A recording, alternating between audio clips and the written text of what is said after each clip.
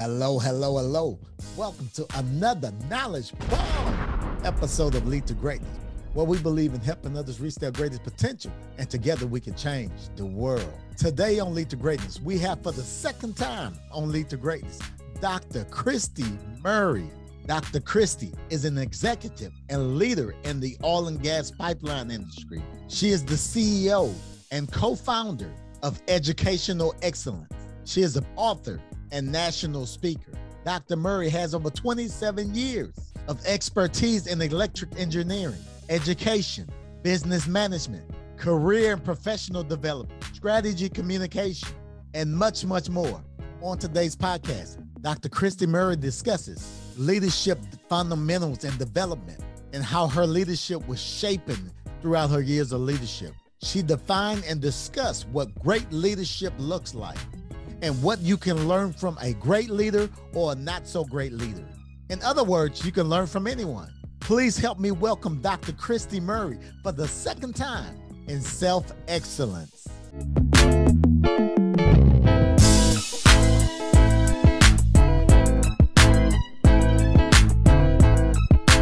This is Cedric Francis, and you're listening to Lead to Greatness.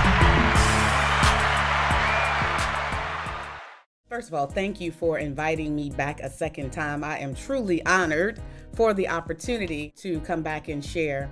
I'm Dr. Christie Murray. I am a 27 year professional who has a background in everything from electrical engineering to project management, uh, working in the oil and gas industry. I'm an entrepreneur and an entrepreneur. Um, and I um, am a two time author, a national speaker, and a professional troublemaker. I love a professional troublemaker. What do you mean by the professional troublemaker?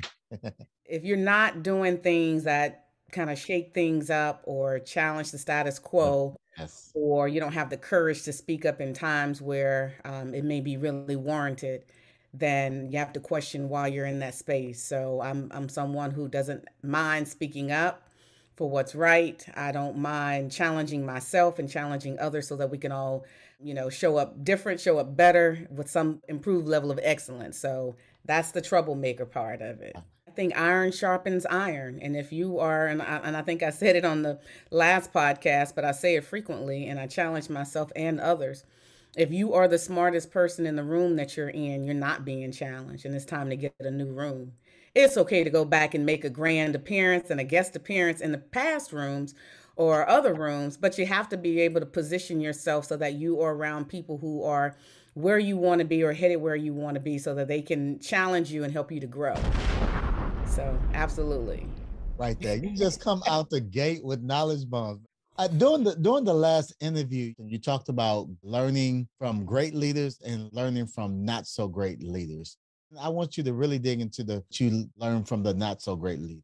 I appreciate that. Um, so I'm going to take it in two parts. First, you know, one of the common things that people always ask about is are leaders born or are they made? And what's your definition of leader? So as I even think about what makes somebody a effective or a good leader versus a not so good leader, I have to put it in the proper context.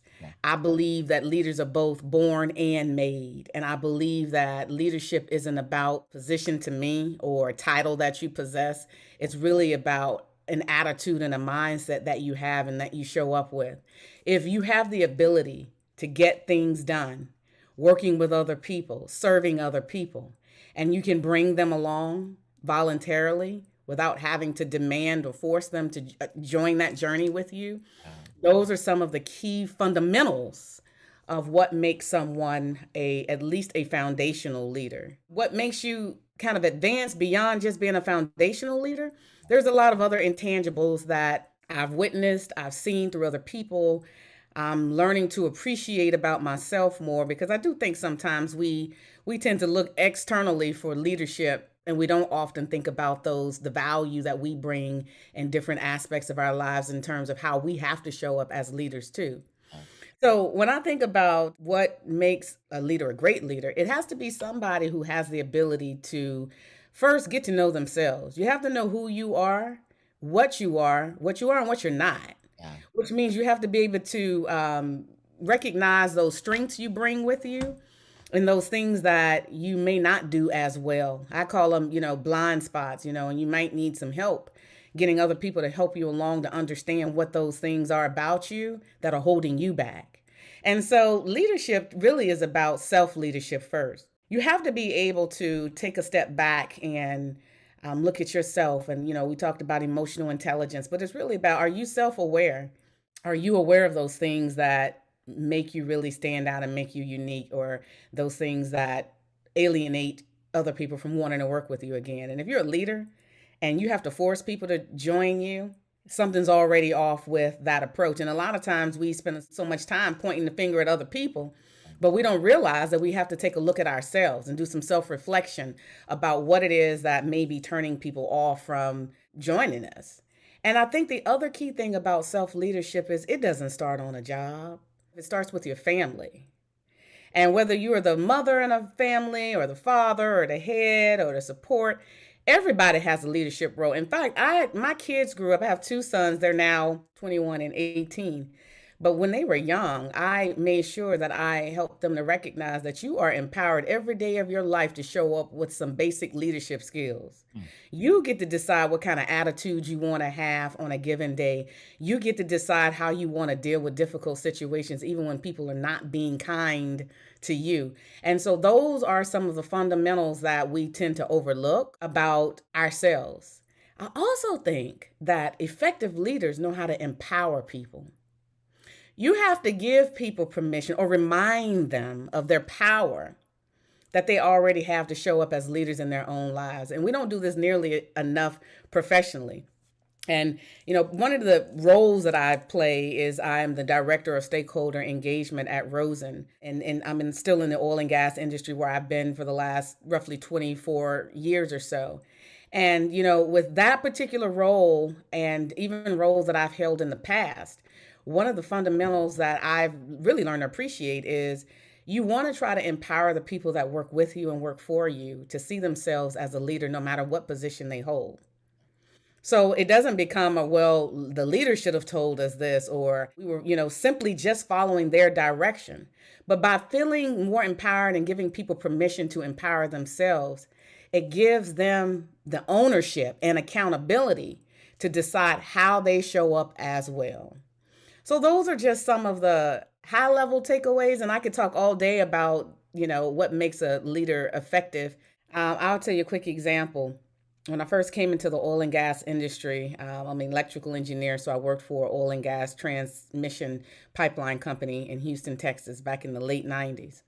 Joined the organization, and I was put in charge of some pipeline construction related project work and I'm going out um, to the uh, project site, um, lead electrical engineer on the job, had contractors working with me and for me. And I get out there and I recognize that I'm showing up this little brown African American female in an, in an, an industry that may not have been exposed to me in that sort of position before. Absolutely. And I noticed that I wasn't being heard. I wasn't being taken serious. Um, it was almost as if um, nobody really, they, I felt kind of out of place in a situation where I needed to, and I was responsible for having a bit more control over what was happening. Um, particularly, uh, you know, in, in the oil and gas industry, safety is paramount in everything you do. Absolutely. And so to me, that always weighed heavily in the back of my mind in any situation. Fast forward, so, you know, I spent a couple of days out in the field doing some field work. And when I came back to the office, I had a mentor. She was also African American female. And I go and I sit down in her office and I'm like, I don't know what's going on. This is my first time, you know, you know, I'm newly, you know, roughly newly out of school. I'm I don't know how to handle this situation. I feel like I feel like I feel like and she said, "Whoa, whoa, whoa, whoa, whoa. Do me a favor. She said, I appreciate you sharing how you feel, but I would encourage you to focus on what you can demonstrate, what you can prove, what is facts based, and what you can substantiate. Wow. And I sat back and I said, wow. Oh. So she said, You're not in an environment where your feelings are very well appreciated. I said, But what is appreciated? She said, What is appreciated is how you can demonstrate what it is you're standing behind. And so that has been one of the most important um, differentiators in my professional career and personal career to where it's okay to feel. But what makes that so? What makes that true? It's the substantiating with evidence, with proof, with things that people can't dispute mm. is taking place that gives it, you know, ranch, ranches it up another magnitude. And so that was one of those empowering moments for me to say, uh, stop whining, essentially. I'm saying having this conversation with myself. Stop whining. Sure, you have feelings, but what's driving how you feel the way you feel? And what what makes that true about this situation? Focus on that piece. So I went back. I said, you know what? We got to change our own attitude. That's where self leadership comes in again. And that's re- really the premise for me in terms of what makes someone an effective leader.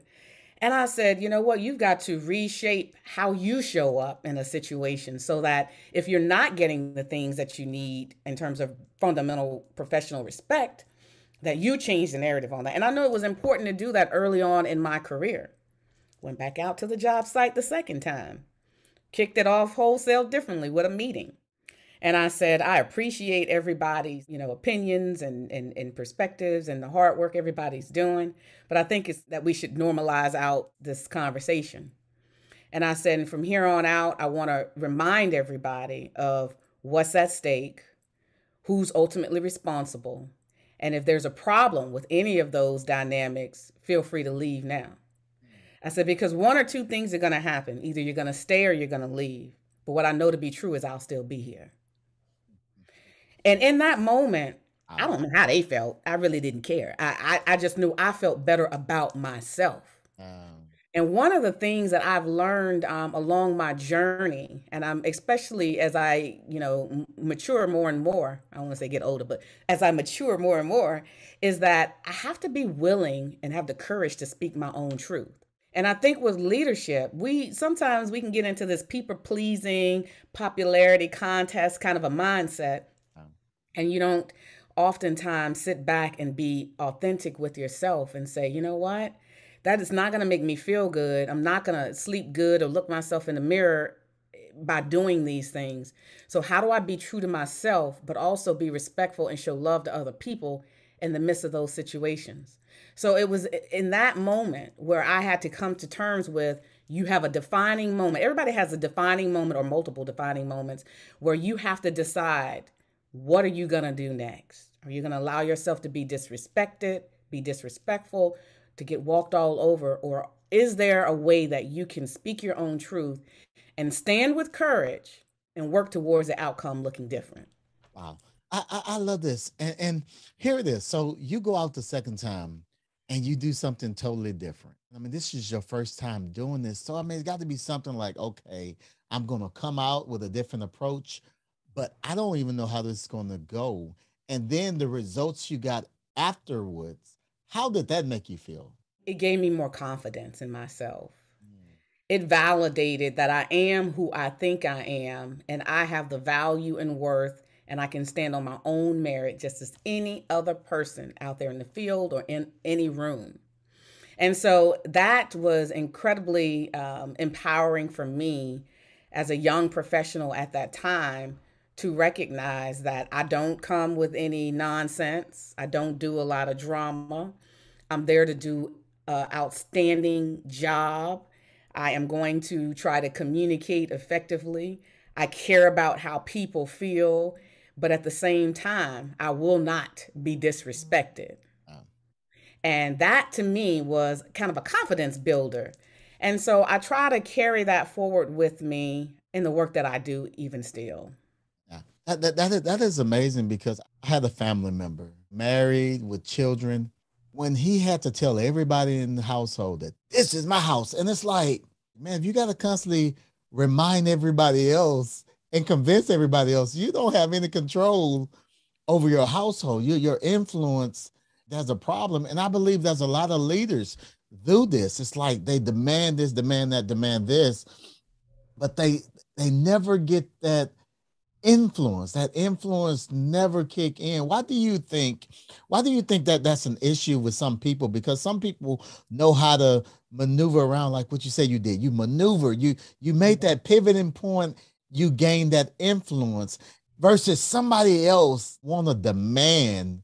We have a listener like that. How can we help that individual I think that's a great question. And when I think about influence and, and people who have to walk in and say, I am the best, I am the greatest, this is my house, I am your boss. And I've had people say that to me I'm the supervisor. Um, I appreciate you saying that. We already knew that. Thanks, though, for adding that again. Absolutely. But here's what it really says I am trying to force some legitimate power, mm. but I really don't have the influence mm. to bring you along on your own. So to me, it's a sign of um, poor preparedness and weakness. Because when you are prepared, you don't have to remind people of who you are. You only have to bring them along and work to gain influence. Employee I had who she was not a senior on my team, and she struggled one day in my office because she she didn't feel like she had power to make certain things happen. And I, as I, as I reminded her, and I think is important in this context, sometimes you don't need power. Sometimes you need influence. and those effective leaders that you talked about earlier, they certainly know how to, they're very charismatic, they're transformative. You know, when you know you're doing something really well, when you can get somebody to do something and they don't realize that you got them to do it. Yes. Now, if you're in a good relationship or marriage, it should happen naturally there too, where you have someone thinking it's their idea. You don't necessarily need the credit, you don't need to take it, but the end result is the end result. When it comes to influence, you're focused on what are we trying to accomplish? What are the outcomes? What are the results we want to see? Not necessarily putting yourself out there in front as if you're the only one you're the only one who can and make it happen chances are if you are in any leadership position, or most of us can't get anything done without each other. I mean, we all have to have networks, resources, support groups, partnerships. And so to think that you are the begin all and end all, you're only deceiving yourself. And again, like like I said, I've heard people say, "Oh, I'm the smartest person in the room." The smartest people in the room don't have to self-profess. I'm not an advocate of self-professing because to me it weakens your argument because you've already distracted from your greatness on whatever level you self proclaimed you had. And now people are just sitting there questioning is I don't know about that. I don't know if that is true. Yeah. And so the key the key takeaway is when you are able to influence people throughout my entire career, I've been able to get things accomplished professionally, um, even personally, without having access to the decision, without having access to the money, without having access to the people to get it done and is built off of respect, credibility, trust. And when you bring those things to the table and you do what you say you're going to do with some level of excellence and quality, you don't have to sell yourself. How you show up and your actions will sell it for you. That's a knowledge bomb. All your life, you know, and your whole life, you know, beyond corporate or whatever, your whole life you've seen leadership that someone has influenced your life since you were born. How have these leaders shaped your perspective on leadership? Another good question. Um, tremendously. Um, my leadership i would say i grew up with a, my mother who was a teenage mother sisters at 16 me at 18 practically grew up together and she i watched i'm an observer i'm an introvert we talked about that too and what I do as I sit back and I watch, I spent my whole childhood sitting back and watching my mother. And I'm like, well, how does she do it? She still went on to graduate college with three kids at 18. How does she do it? We always had a roof over our head and, you know, food to eat. How does she do it? The bills always got paid. My mother had systems. She, if she did fall apart, she, I never knew it. she found a way to make things happen without bringing us all down, I guess, like when whenever she had peaks and valleys in terms of her mood and, and just things she was dealing with, the pressures that were on her, she found a way to shield us from them. And to me, when I think about fundamental leadership, you, uh, an effective leader, some of the ones I've had professionally who shielded their people from nonsense, who stepped out in front of, you know, the situations and protected their people in a sense, mm. to me were extremely, I, they have much respect from me. Um, I also think that it's important that leaders take care of their people. I'll tell you a quick example um, of a not so great moment um, of leadership. Working a job, the only time in my entire professional career that I, I'm gonna start, I'm gonna begin with the end, that I actually received a disciplinary action. I wasn't fired, I wasn't suspended, but I received this letter of reprimand in my file. To me, it was crushing.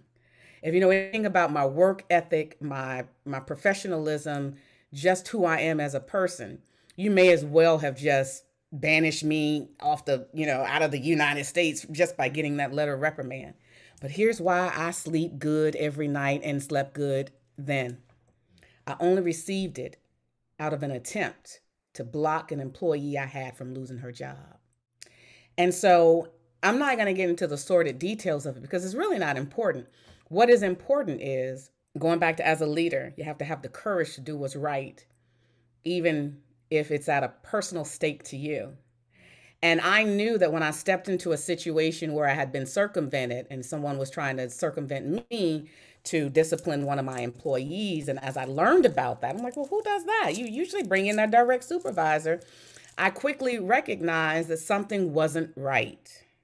And as I started asking more questions and bringing more facts situation and substantiating what literally happened, I knew that I was doing so at a personal risk to myself. Now, see, let me tell you something about a good leader. If you think you are a good leader, but you won't stand up for people, or you won't put yourself out there and potentially put anything at stake or at risk, you probably got a little bit more homework to do on yourself. Absolutely. So I stepped in. She kept her job. She still has that job to this day. Amazing.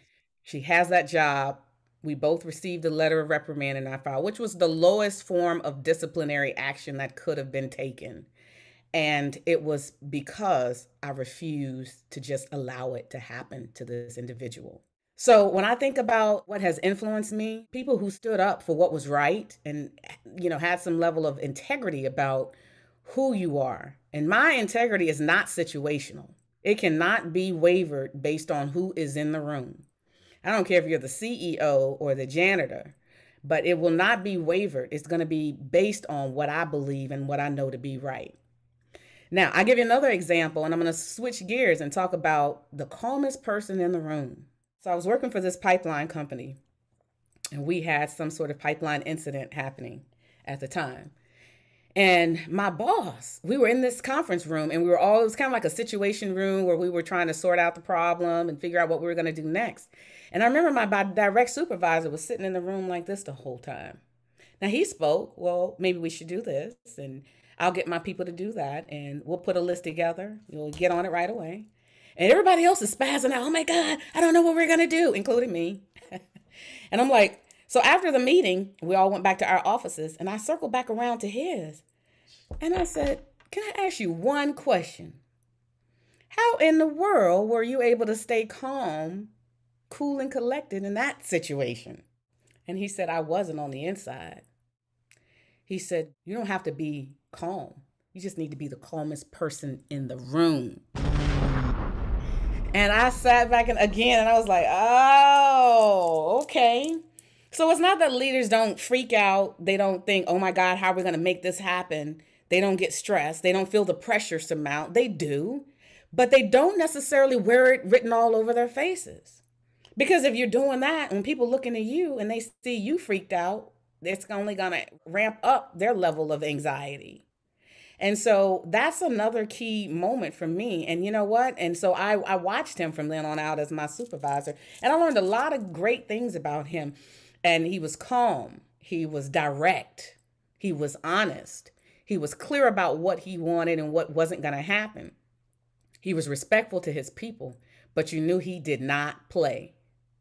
And then I had a supervisor who, and he also gave clear direction, but I had another one who really had me frazzled. And this is what I learned I should not do. I've been given like five or six projects, and they were all seemed like they were all time sensitive. So I knocked on this previous supervisor's desk one day And I said, Hey, can I talk to you for a minute? And I said, Hey, I've got like six things on my plate, and I think they all need to happen like yesterday. I said, Can we do a little prioritization? You know, what comes first, second, third? You know, how, how do you see this, you know, shaping up?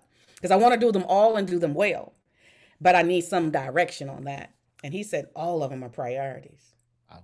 And I had never been more demoralized as somebody who really wanted to do a good job, work hard, um, and you know support the organization than that moment. I walked out of his office feeling so deflated.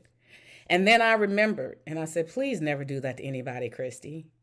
And i said to myself because when everything is a priority nothing is a priority. And so those are those oh, moments oh, where where you say ah you got me there but i'm not going to do that to other people and so i make it my personal mission when somebody says I need help deciding where I'm going to focus, it is your job to give them that level of support. Even if you help them to talk it through for themselves and come up with their own approach, but it is your job to coach them through those situations. Wow, that's another knowledge bomb. Chris, it's this moment. Okay, you said the leader was calm in the room. The meeting was over. You could have just went on by your merry way and not even thought about it or even asked him that question. What made you go back and ask him that question to get that lesson you got that's changed your life? What made me go back was this moment I I couldn't let pass, and I said I have just I have to know. I was inquisitive, and I was curious, and I said, you know what? I could have gone home. It was close to the end of the day, and I said, you know what? my feet, my mind wanted to go one way, my feet went right into his office. And I said, I just have to know what is it about this situation where it doesn't seem like you should have been that calm that you were. And you know, one of the things that it often reminds me of, and I'm doing this even today, is never letting a perfectly good crisis go to waste. Oh. It is in the midst of when things aren't going well that you have the propensity to learn the most about yourself and other people. And I always tell people, you learn the most about people doing weddings, funerals, weddings and funerals in particular, yes. or sometimes divorce. Because people are going to show up their best selves and their worst selves in those different life changing situations. And so when whenever there is a crisis, I get quiet and I start observing people. And I learn the most about who they are at their core. And so it was in my effort to be observant and say, huh, I have work to do on myself. I don't want to be the one always in an uproar. I have to have some self regulation about myself. Going back to that self leadership piece, everything that you hear me talk about, it always circles back around to me. And, you know, we talk about growing and developing and, you know, th- that sort of thing. If you are a leader and you think you have arrived, you're already behind the curveball because you're you're always in pursuit of self excellence in my mind. Oh, maybe that's the name of my next book, In Pursuit of Self Excellence. Mm. Now, I do all I've done all this talking Cedric about leadership and what I, you know, but please, I have to say this.